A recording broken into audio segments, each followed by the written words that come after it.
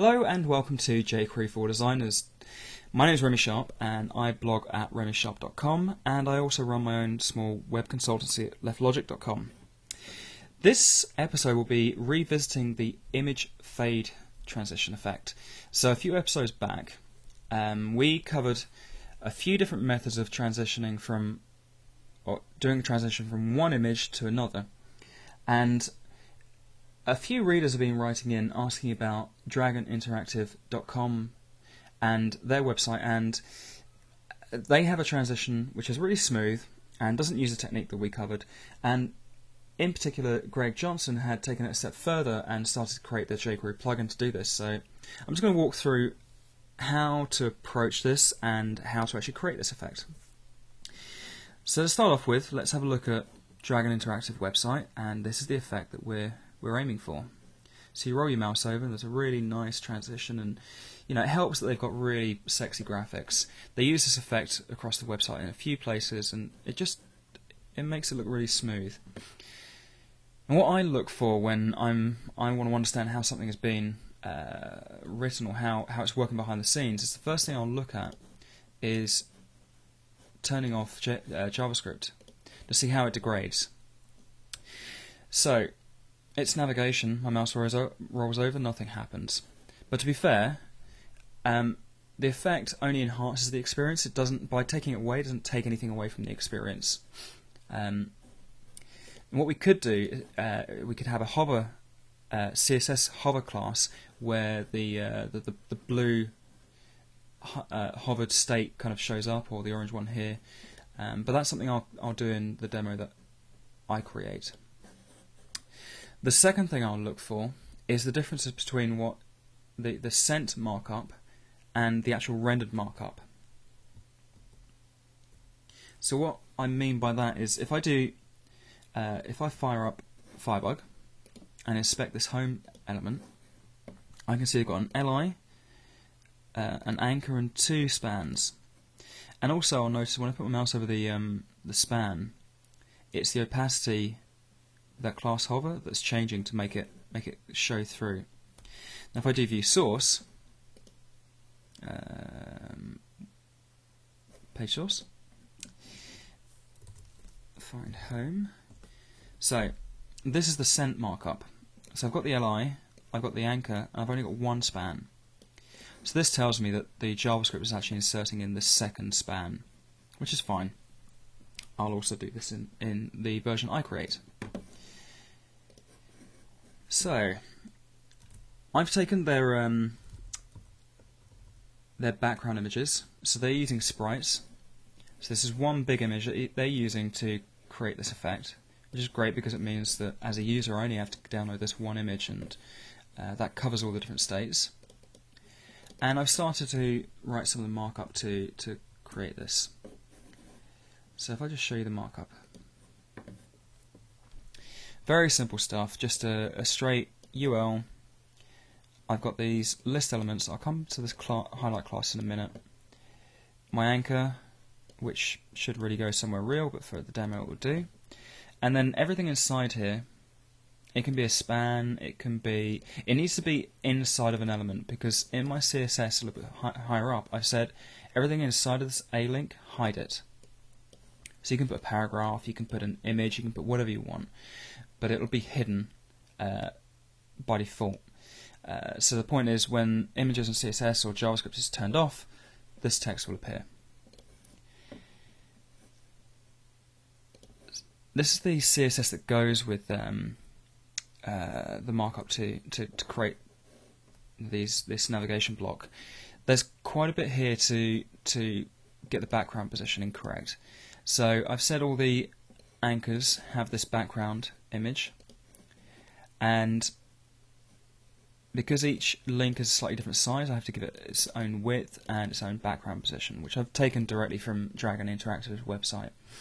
But for your examples you might just use it for an on-off button or you might use it for you know, different style of navigation.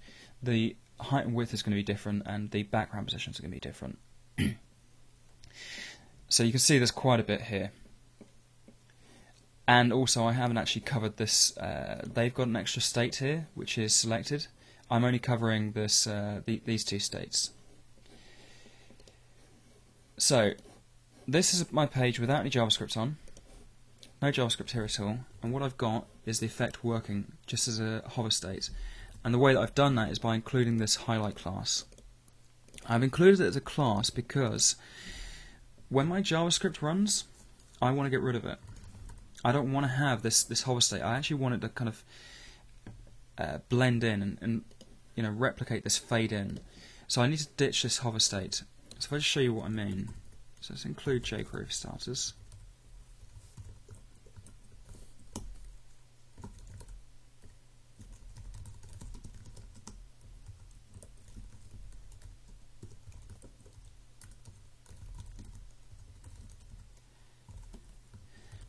Now that I've removed this class, obviously the effect, you know, nothing's happening, but now I can fade up cleanly.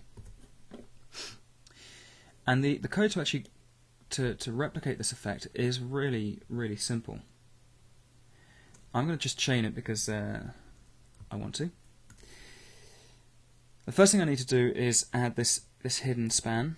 So I'm going to insert new spans at, at this point uh, which will be used, I'll give it a class of hover, and if you look at my CSS I've prepared this uh, dot hover, I've given it a predefined height which matches all the other links, same positioning, same background, and you can see where I have my hover state, I've got exactly the same effect being created for this span. That has this hover class.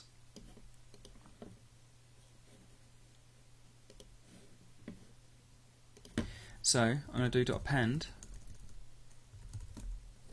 Oh no, not right. This uh, the reason why I couldn't do that is because uh, my selection was on the uh, the li, so I want to change it to navigation and a dot append because I'm appending it to the the anchor, obviously, and not the li.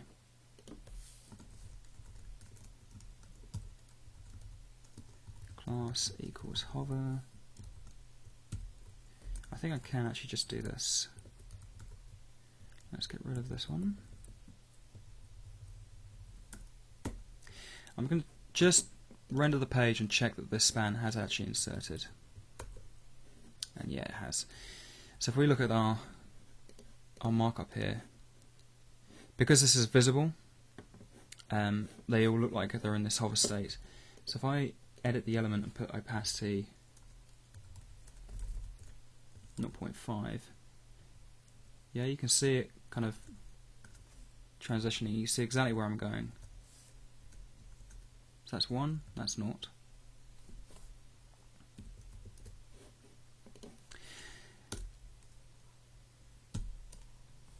and now I'm going to do dot each So I'm looping around each of these anchors, not these spans, because the context is still the anchors. I'm going to cache the span.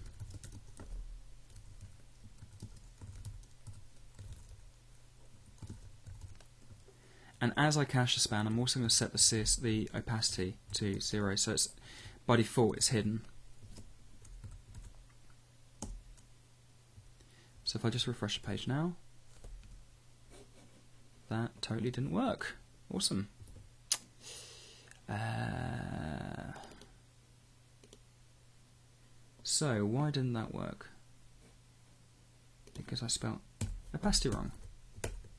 Right, cool. Back on track. So I've cached the spans, and I've cached them because I'm going to use them to, to fade the opacity up and fade the opacity down and I'm just going to do this dot hover.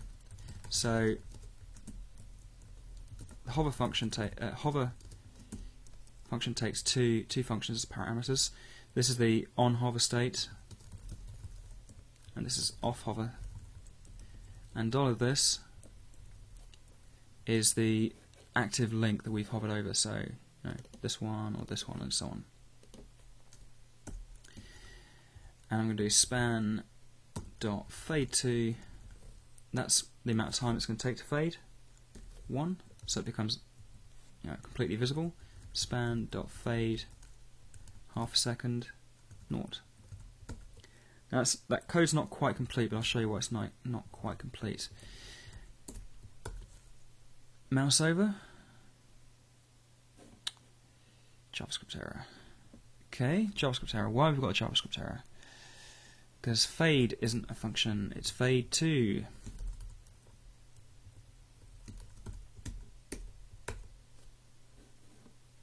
There you go. Right, the problem with this is if I go back and forth all the time, you see they keep going? We definitely don't want that effect. That is going to annoy the hell out of our users. So I mean? It's like some kind of crazy disco. We don't want that. That's probably also spiking our CPU. So all I'm going to do is I'm going to add dot stop to each of these. Refresh. And that's it. That's the whole technique in only a few lines of code. I can compress that further if I want to. I can change this to uh, chain it so it says find a and then append so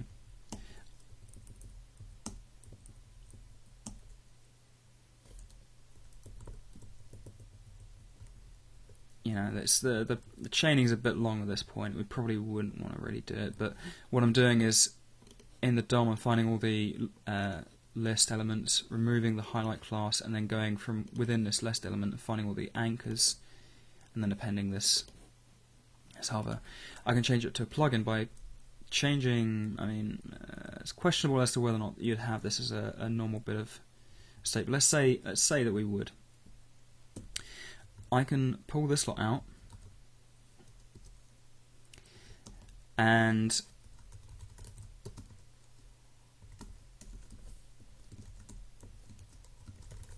this is how we, we wrap our plugins. So we, we start it with bracket function.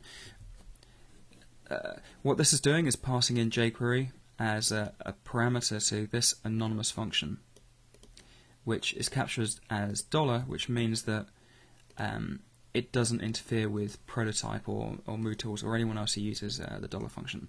And then we can do dollar dot fn dot I don't know fade equals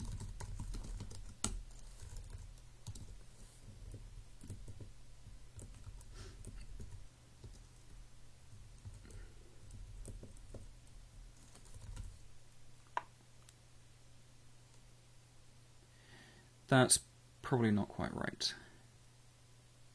Uh, we can try it actually. So now I'm just coding and then you guys watch. Ah, yeah, see that works.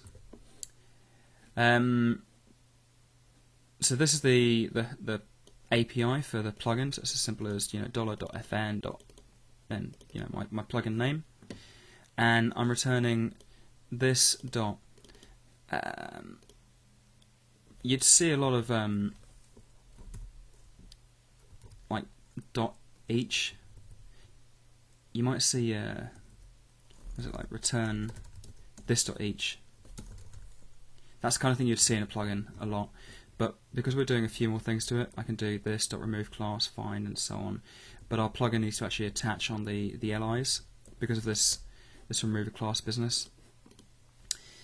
Um, but to keep things simple, let's not have it as a plugin.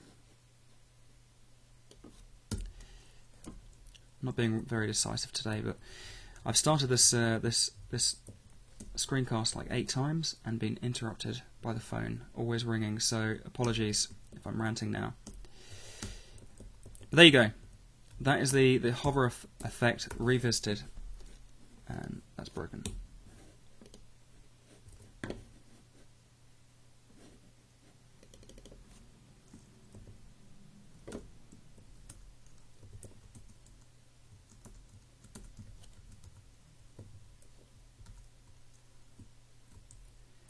Oh, I've gone and broken the code.